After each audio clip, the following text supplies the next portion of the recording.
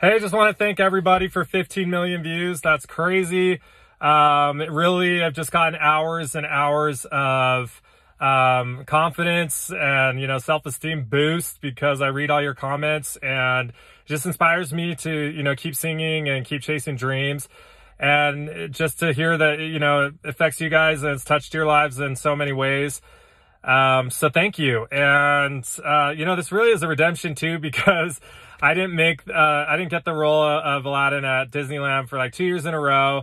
I was in final callbacks. And then on Broadway, I, um, was in final callbacks, didn't get the role either. So, uh, but none of those Aladdins can say they, uh, sang with Lea Salonga and got 15 million views. Okay. um, thanks again. Love you guys. Bye.